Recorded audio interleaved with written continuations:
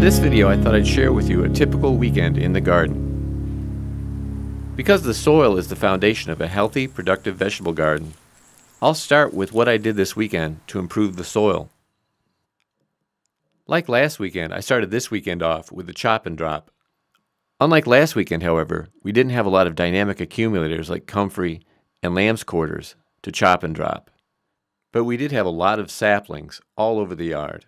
I'm guessing that our use of leaves and wood chips as mulch brings a lot of tree seeds into the yard, and that's why we have so many saplings coming up. Because I don't want them coming back, I go ahead and uproot the saplings rather than chop them and leave their roots in the soil.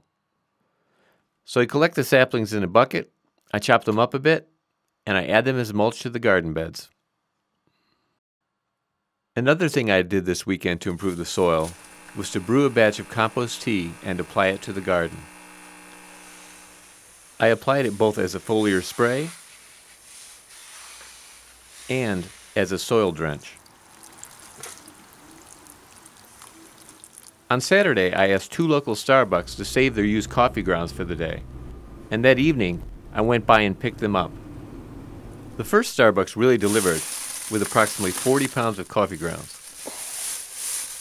Then I headed over to the second Starbucks. Both Starbucks are within minutes from my house. At the second store, I got a bag of approximately 10 pounds of coffee grounds. Used coffee grounds make a great free soil amendment. Their pH is very close to neutral, ranging from 6.5 to 6.8, and they contain nitrogen, potassium, phosphorus, magnesium, calcium, and other trace minerals. My last haul of coffee grounds went into the compost bins. This haul is going directly onto the garden beds as mulch. I lightly sprinkled the coffee grounds around the garden beds. I avoid creating a thick layer of coffee grounds, which could potentially form a crusty layer which you don't want. After laying out the coffee grounds, I once again put my Vitamix to work, blending up all the eggshells that I've saved for the week and some water. The eggshells will microwave first to kill all the bacteria. Eggshells also make a great free soil amendment. They contain calcium, phosphorus, and magnesium. I simply pour the pitcher of water and eggshells onto the garden. The eggshells are blended so fine that hopefully the minerals in them will be available to the plants fairly soon. In addition to applying these soil amendments directly to the soil, I'm thinking ahead and making compost and vermicompost to enhance the soil in the future.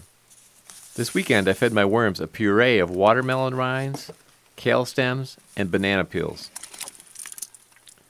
And I topped this off with shredded paper from a phone book. This weekend I also added yard waste to the outdoor compost bins. I also checked in on a compost bin featured in a previous video that contains wood chips, coffee grounds, and yard waste.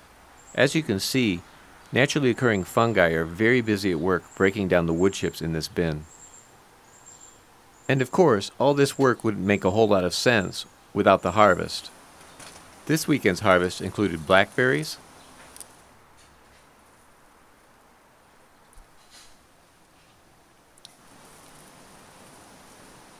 cherry tomatoes,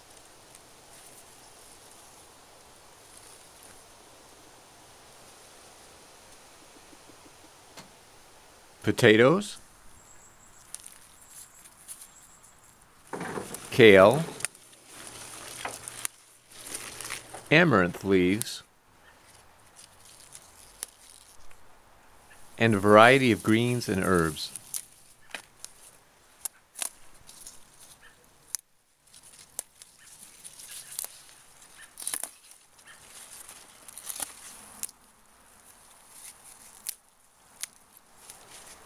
And when all the work was done, I took time to relax and enjoy the garden.